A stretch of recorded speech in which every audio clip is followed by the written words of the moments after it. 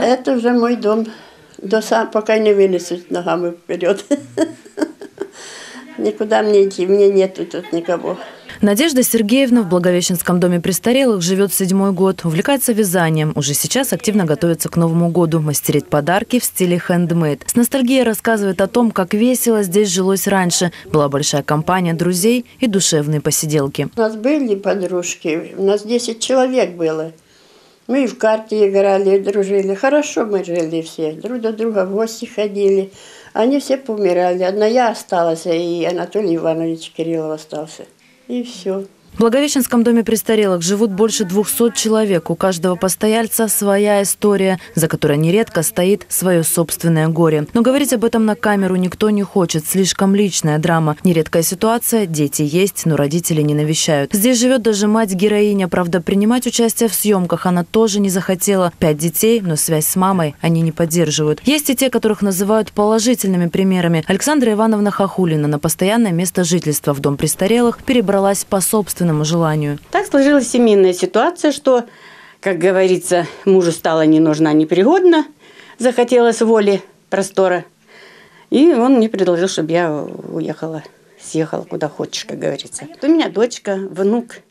Вот никто от меня не отказывался. Я также общаюсь, встречаюсь. Езжу так, что со всеми, с кем кто это самое. Поэтому я не говорю, что меня кто-то что-то забросил, закинул.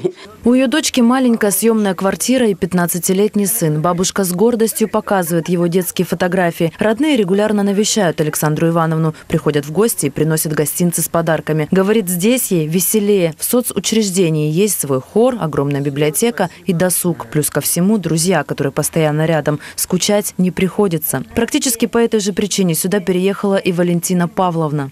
Я у дочки жила, она у меня здесь в областной больнице работает. Я у нее пожила, говорю, Ира, мне надо в дом престарелых. Мам, ты что придумала? Я говорю, Ира, я здесь скоро и говорить разучусь. Вот сижу на десятом этаже квартира. Я говорю, я вижу только машины, и видно, как самолеты садятся, поднимаются. Дочь сначала не оценила такое решение, но позже смирилась. Теперь они каждый день созваниваются по телефону и, конечно, ходят друг к другу в гости. Хотя такие случаи здесь скорее называют исключением. А это уже другое социальное учреждение – приют «Надежда». Светлана Ивановна здесь практически заместитель директора. Следит за порядком и распределяет обязанности, хотя раньше сама была постоялицей. У меня два сына. Ну вот Бог дал их, вот у меня было трое детей, дочка у меня умерла. Я попала себе, я вам бомжевала. Семь лет вам бомжевала. Дети от меня отказались. Что им не мама такая не нужна. Один из ее сыновей сидит в тюрьме, второй вышел из заключения. Светлана уже несколько лет ведет правильный образ жизни, а недавно даже вышла замуж. Но больше всего мечтает встретиться с собственными детьми. На самом деле в этом приюте мало кто общается с родными дочками и сыночками. Вот у нее есть. У нее есть сын. Он пьет. У нее она сама музыкальный работник.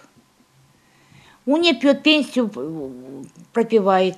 И ни разу, вот сколько она находится, ни разу он не был. Рассказывать о собственных судьбах многие не могут без слез и, конечно, мечтают, чтобы хотя бы в День матери их собственные дети вспомнили. Мама – это самый близкий на земле человек, которому обязательно нужно как минимум позвонить. Яна Лисовая, Михаил Величкин, Амурское областное телевидение.